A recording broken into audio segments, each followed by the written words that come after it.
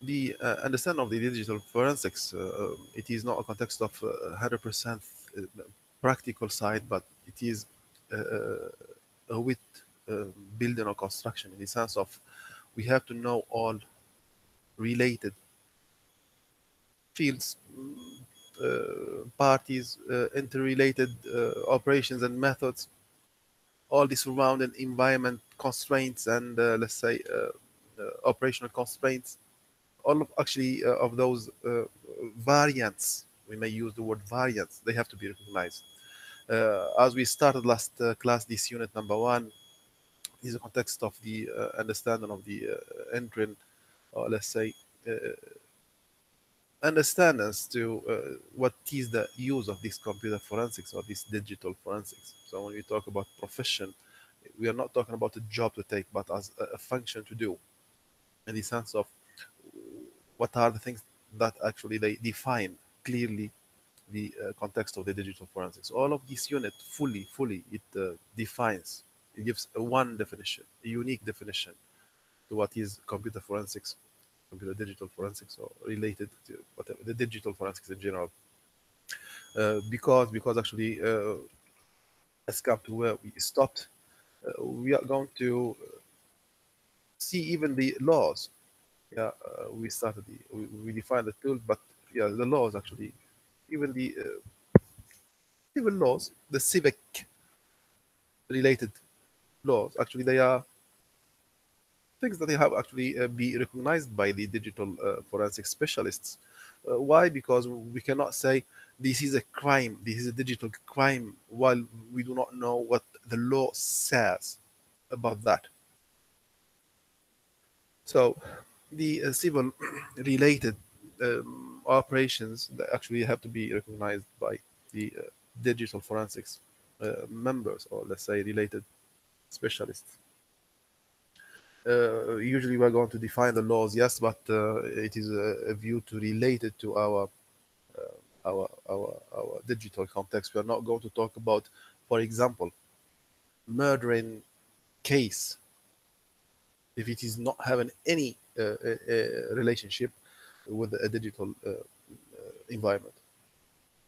So uh, we are not defining the law towards the crime itself, but we are using the law to adopt it and to utilize it to give a clear investigation or a better investigation on the purpose of digital forensics. We are making investigation at the end of the day to uh, facilitate the law adoption, yes, the uh, implementation of the law in the digital uh, environment or whatever, the adoption of the law in all uh, perspectives and aspects.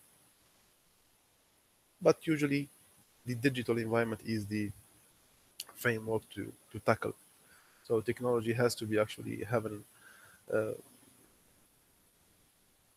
the view usually whenever we talk about the law. So uh, whenever we talk, uh, whenever we adopt a law, so the the the changes that technology is adopted has to be considered. We don't talk about uh, digital. Let's say uh, we don't talk about a law that does not go with the technology of today. Uh, we are talking, for example, we are talking about IoT devices and the communication using the very tiny uh, devices today, the very cognitive and smart devices today. We have to consider that as an example when we adopt laws The law, the قانون, the law is the civil uh, policies and politics that they help actually people to survive all, all together. The uh, statuses and the uh, considerations of those law also they have to be actually uh, mentioned. So the law is one of the uh, criterions, no more no less, that they have actually to be uh, considered whether they are actually uh, up to date or not. Why? Because uh, if there is no law to be measuring what a case is set today, we have we can we can go with a previous law since the law is not available today. Two, we can go with the previous one. We can go with the previous one for the purpose of what? To measure uh, a solution to a crime or to an incident, digital uh, digital case or digital incidents to solve it. The purpose of to solve it, no more no less. So if there is no law to exactly fit what the digital scenario is, uh, we actually go for uh, we, we we are having the chance to go with a former case that that suits uh, is similar to what the case is uh, we are facing today. Good. Uh, uh, also to enhance such uh, such an experience, since actually we just said now that we can go with previous and former laws to enhance the experience with solving better solving digital context if you do not have a clear law that governs the scenario. Uh, the uh, experience exchange is one of the solutions to enhance such an, uh, an approach. Experience exchange. What does it mean? It means actually when so, so digital forensics experience, um, let's say experience mo most experienced people are actually uh, meeting. So 100% they will exchange their knowledge. 100% they will actually share their experience, and they will actually get the benefit one from the other, from each other at the, at the end of the day. So it is good actually to join. Um, as actually as a beginner or as a learner or as actually a, a, specialist in this uh, field it's good to join dedicated uh, let's say um, forums and uh, groups and let's say associations that they are working in this uh, on this field. For the purpose of gaining knowledge the the 16 or the let's say uh, the other one uh, whatever whatever they are they are all actually resources of provided knowledge in addition to that, it is trivial that a digital forensics specialist has to recognize as much as technical frameworks where he can actually express his, uh, let's say, uh, skills and experience of field. Platforms and frameworks, we talk about operating systems mainly and it depends on the scenario because we can talk about a network. So we, we talk about uh, a firmware or let's say network device not only an operating system. But the framework in question so the digital forensics uh, party has to recognize as much as frameworks he can. Great resources. Okay uh, investigations is the key of the digital forensics. Actually, they are classified into two groups: the private and the uh, public investigations. Why they are actually segregated in this view? This is not a rule, but it is actually a facilitation of the adoption of laws and regulations in order to uh, to achieve the investigation process. Because an investigator is not anybody uh, that has skill can can do that. There is there is a right to have in order to do the investigation. If you are not allowed, if you are not authorized to do, you are not allowed to do. So that's policies and politics adopted to achieve or to do the, the, the investigations. They are different from a public sector to a private sector. Public sector actually are the laws that they actually uh, be committed by the uh, by the uh, government or governmental, let's say, uh, framework. They are to be ruling the investigations on the public organizations or let's say departments or let's say yes organizations in general. Yet yet when we talk about the uh, actually this is for the uh, concern of the, uh, the, the, the, the, the public. Um, whatever actually he is i'm gonna go to the private and I come back. I'm gonna go to the private. And for the concern of the private the the the the politics or the internal politics that actually govern the uh, the work of the the internal work of an organization. Hey, just a second, please.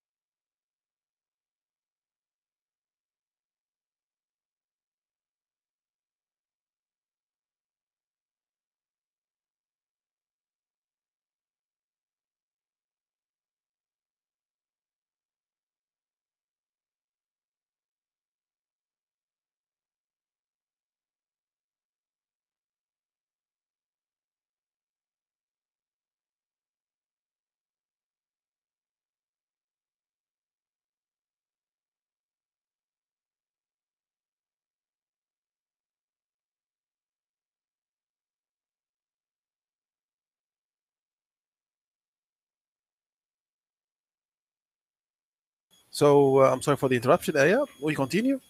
Uh, I was saying like actually the uh, for the private sector, the internal politics and the laws actually they are govern the work because before adopting the public laws, the internal laws of of an of a given of a given organization has to be implemented, and this is actually related to the civil cases generally, and they would be actually treated as a civil case generally, and it would be actually considered as a litigation between parties if there is any case if there is any reported, uh, let's say, um, uh, case report actually uh, as a crime, reported as a crime, no more, no less.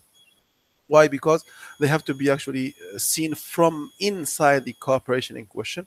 Otherwise, otherwise, the, the organization itself or the corporate actually uh, itself will be considered as a unit versus the law versus the government law in this in this regard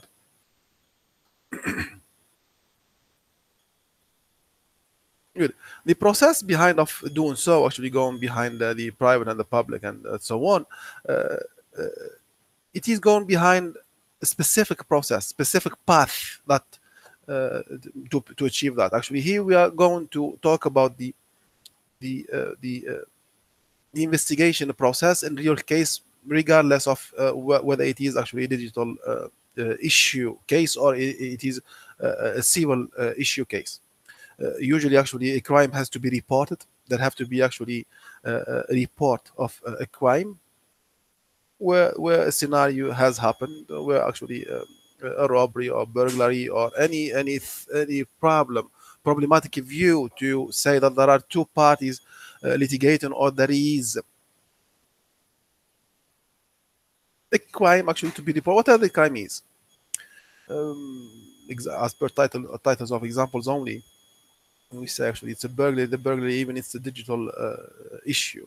But whatever the uh, there is an issue to be to be raised at that time. At that time, we have to specify that there is a need of investigation. And uh, because of this uh, scenario only, so uh, now we are not able to delimit the number of the, uh, the, the issues to raise up or to be uh, to, to cause the raise up of a crime or investigation request. There are terminologies. There are terminologies that have been actually added specifically to the context of uh, uh, investigations and digital investigations in generally, and they are they are related to the computer field no more no less when we when you, when we come to the word forensic itself, actually it is defined as the digital investigation. So there are there are terminologies defined because of this approach. Since we are saying there are laws to match specifically the digital crime and the digital investigations, digital proof, let's say extraction. So there are uh, terminologies for this purpose only.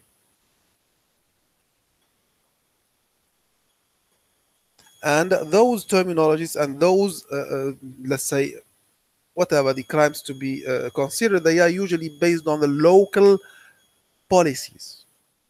They are not to be set globally and uh, for uh, customized for everybody everywhere at every continent and every country. No.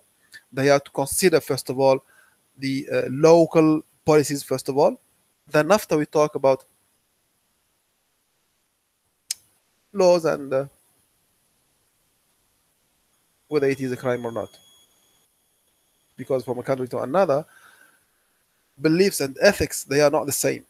Thus, crimes they are not the same, and consideration of the uh, the uh, the behaviors they are not the same. When we compare our, our uh, Arab and Muslim countries, they are not the same actually. When uh, when we uh, expose our culture versus the uh, let's say the Western culture, or the United States specifically culture. So it's not the same scenario.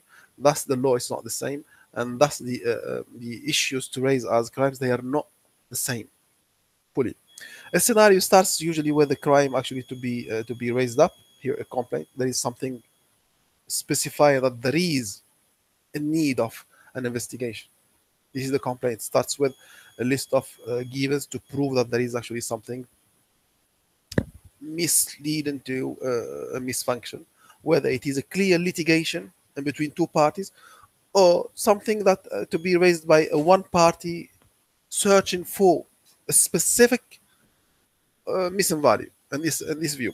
Thus, at this, at, this, at that level only the investigation would start. The investigation would be actually raised up by, as in, in the real case, it would be actually by a police agent.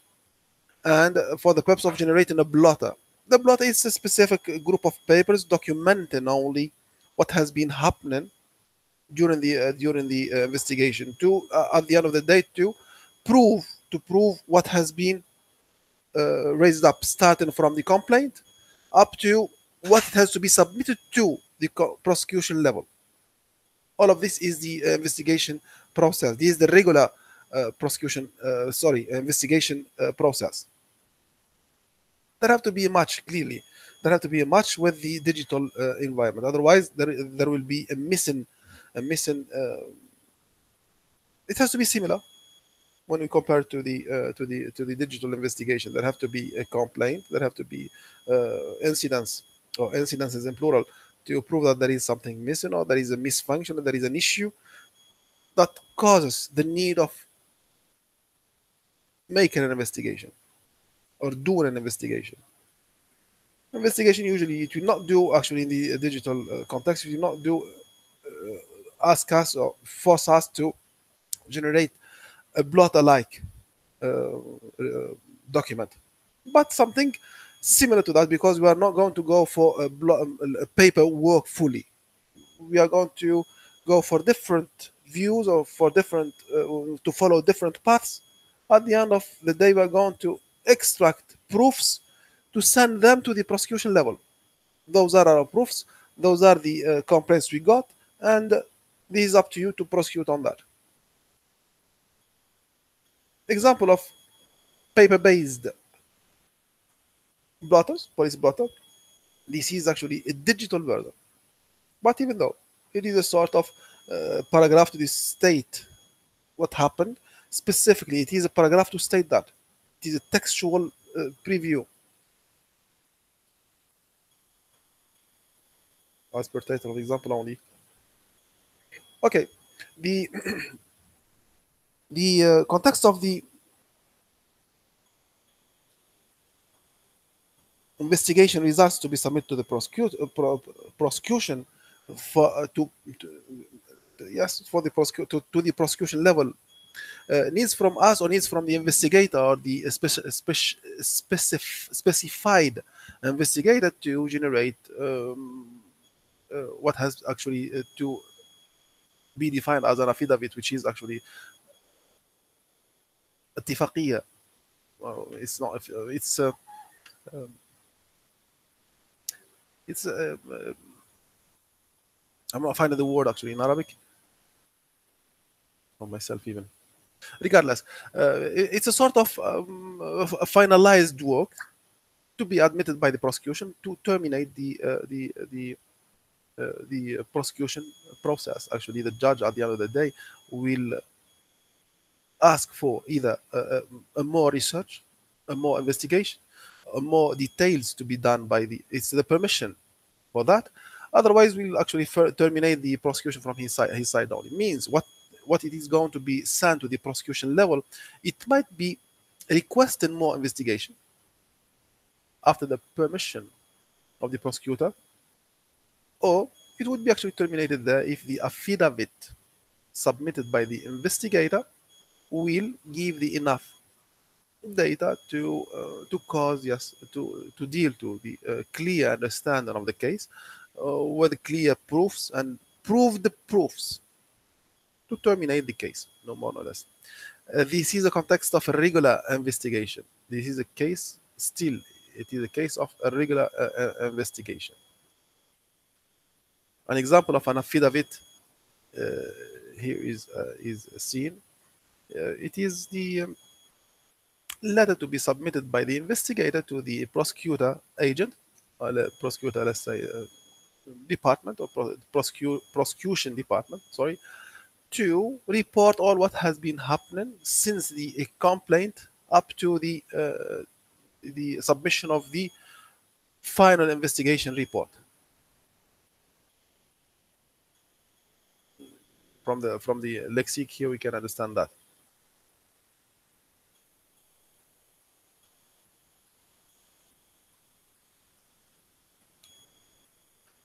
Uh, okay.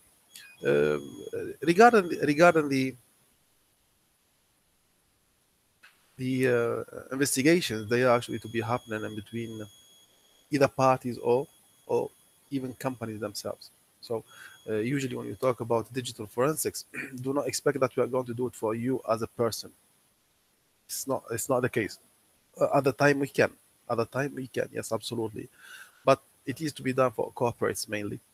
And the corporates they actually uh, can be small ones. They can be actually uh, large companies. When you talk about about lawyers they are like personals. Yeah we can do actually investigations for for example lawyers. Lawyers can actually a lawyer one lawyer it's one person but it has actually he has or she has actually a company and it has their assets that they have to be uh, uh, investigated for a reason or another. So the uh, corporates uh, that they actually that they can raise up an investigation uh, uh, need they are many. And they are a reason of being a, um, uh, the fact that they are actually a corporate they are a reason of raising up an investigation need. So um, a conclusion for this part only uh, an individual cannot uh, raise up or cannot uh, have the necessity to raise up an investigation process. No it's not the case but it's not the first reason of raising up an investigation process for the context of um, digital uh, forensics why? Because uh, one person is isolated environment. He does not have any uh, surround or external uh, constraints or parties. Clear. The problem is from himself to himself. He has to, he is isolated already. Uh, examples of examples of uh, functions that they actually can cause the rise up of investigation need all the all the uh, all the digital activities that they can actually that we are facing that we are dealing with daily. One of the very famous problems problematic views that we can face daily in the digital environment is the eavesdropping. We saw that in the digital digital security course the eavesdropping to just monitor the data flows or network flows without permission espionage, eavesdropping, uh, monitoring without uh, without consent. All of them they are spy spying. All of them key logging. All of them they are actually examples of uh, espionage. They are very crucial and famous crimes on the digital environments, environments, and they are very famous. They are very famous in this. Uh... okay. Um, at the same at the same uh, um, uh, level, we have to um, understand that uh, the group of politics internally to an organization they are the first overview to consider when saying that this is a problematic view to raise up an investigation and we have to make an investigation. See what I'm saying? Up to you now, since now we did not talk about the digital forensics process or the lab or whatever we have to do. No, we are talking how to classify or to clarify or to state that we are having an issue that pushes us to talk about investigation. We need to make an investigation. So uh, the group of politics from within an organization, whether it is public or um, um public or um, let's say private, they state whether an incident happening uh, at a given time is a reason to raise up an investigation uh, request. So those politics have to be actually updated daily, uh, uh, frequently, and so on. They have to be actually clearly communicated with whomever uh, uh related parties, whether they are the employees or the external, let's say, uh, stakeholders, whatever. They have to be communicated clearly and uh, this view and this view uh, since they are going to be actually communicated they have to be utilized and considered to do the uh, investigation. Why? Because an internal investigation, if it's not ruled by the politics uh, set by the company, it would break the rights of the uh, uh, of the uh, of the internal members of the company, including including including the doer, the suspected, uh, let's say, um, criminal. They are uh, even the criminal has rights, or the criminals in plural have rights, so they have to be protected. So we do not break rules because he's he's he's uh, a criminal or he's suspected only. So the the investigations to be uh, done internally into an organization or to an environment, to work environment, uh, they have to be actually still obey to the politics by the organization, whatever. The the uh, the uh, very good example, the very good example to follow when setting up policies internally to an organization. Since we are dealing with a digital environment, remember that we can do, uh, we are working with an online or what, let's say an electronic, a virtual environment. So, uh, warning banners is very good example to notify any function use. Warning banners is a good practice and behavior to help users be notified from using a, a given function.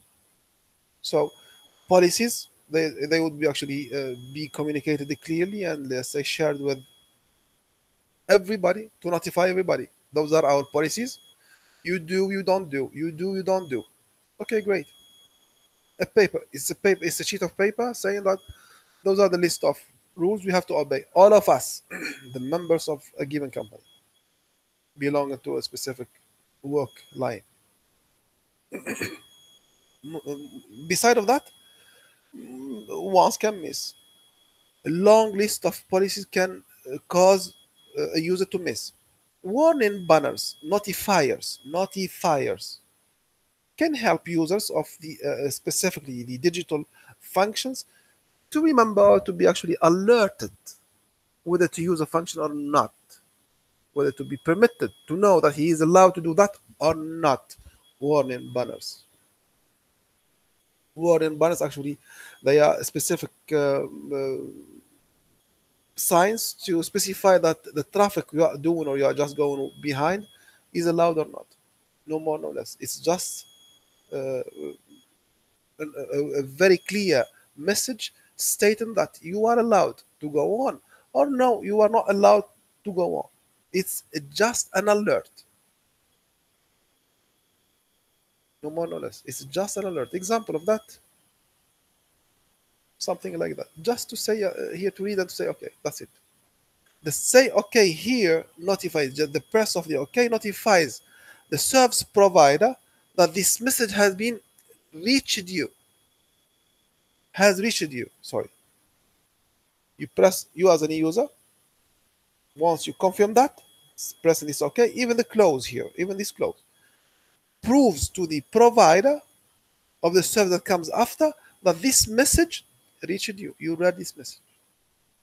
What you are going to do after clicking this OK or this close button, it is your responsibility, whether you are allowed or not, including criminal prosecution, so wh whether you are not allowed to do or not, will either raise up this uh, path of the prosecution or not.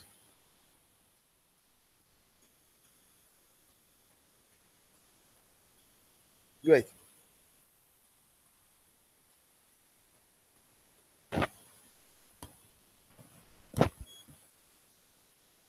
We were talking about the police blotter and we said that it is a report to be generated by the police agent in the regular investigation or your plane. The uh,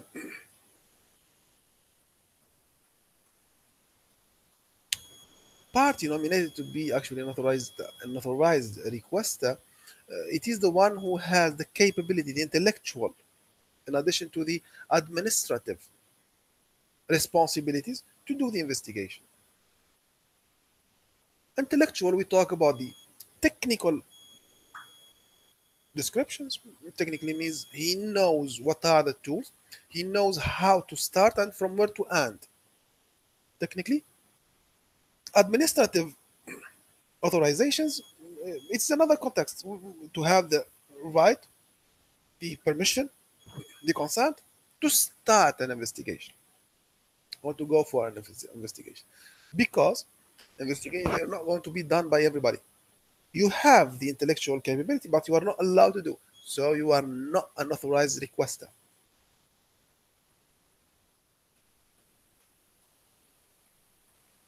an environment that states a crime scene digitally seen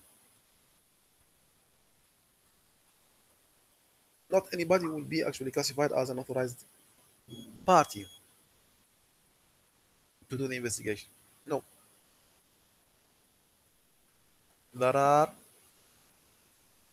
consents that the requester has to go behind in order to finalize his request or his requests. They are not the technical only but they power the investigation to be conducted. Hey, is it clear? Yes. Okay. Uh, up to up to now and still going on, we are not going to standardize the the investigation process. Why? Because the investigation it is related to uh, we said that last class it is related to an environment and the environment differs from a workspace to another. Workspace and workplace. Depends on the business whether it is mobile business or it is actually a local uh, uh, let's say uh, infrastructure uh, environment where the business is running or it is a standalone devices group of devices that they are actually having different segregated functions to do. So from an environment to another, the investigation will differ. Thus, we are talking about um, groups here to classify the uh, the uh, the uh, the the authority to give permissions to dedicated parties to do the investigation or not. So groups. Fulan is allowed to go for the let's say dedicated uh, investigations let's say here corporate security another one to investigate the behavior of the insiders to an, an organization or an insiders to a department something like that so uh, segregation of the investigation work can be done also. Segregation of the investigation work can be done. Based on the who what based on the business environment. There are no rules. There are no rules. There are no standardization rules. Yes the behavior actually it will be standardized later on. But segregation of those roles what I functions it is based on the business environment space work uh, workspace or workplace. uh,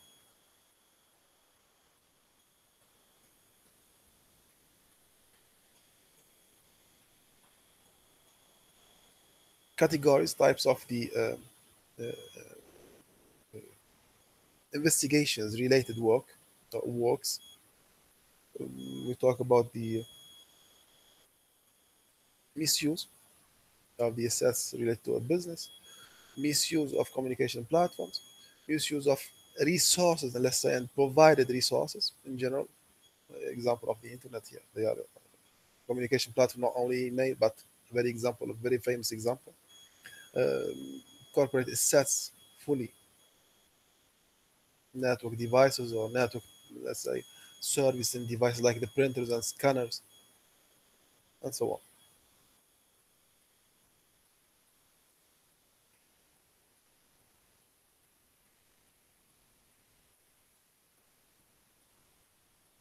I'll come back to this uh, doctrine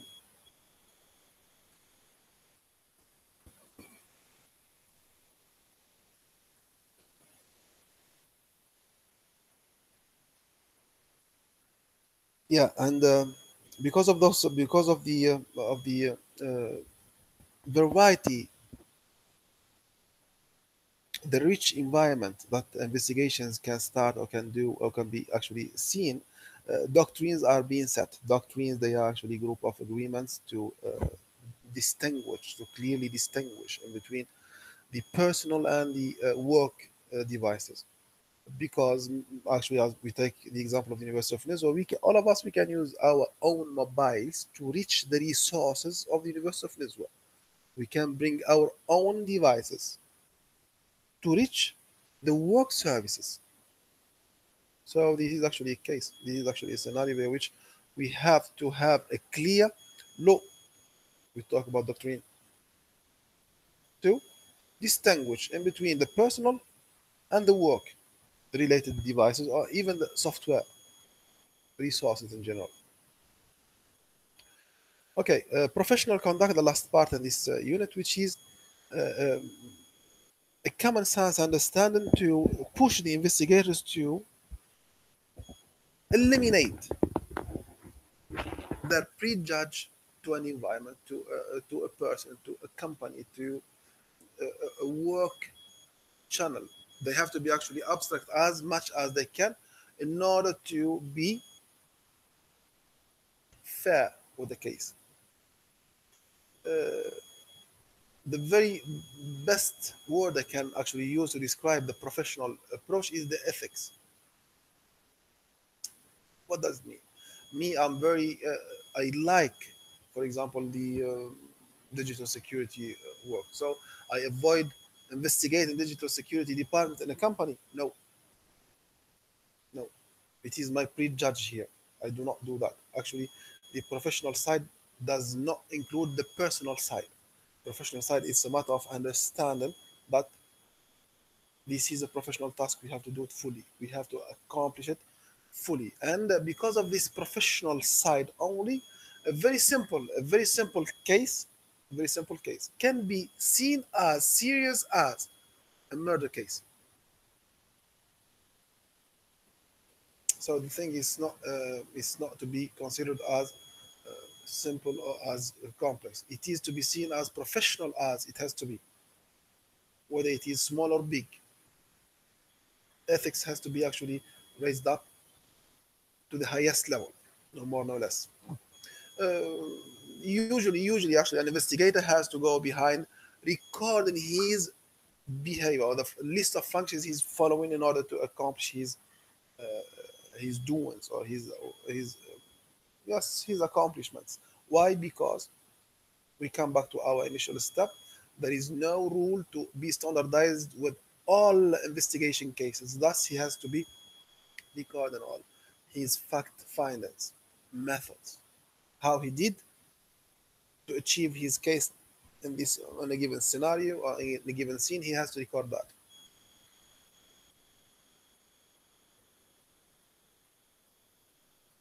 Any questions, Aya? No, Doctor. Okay. Uh, I'm gonna stop the recording.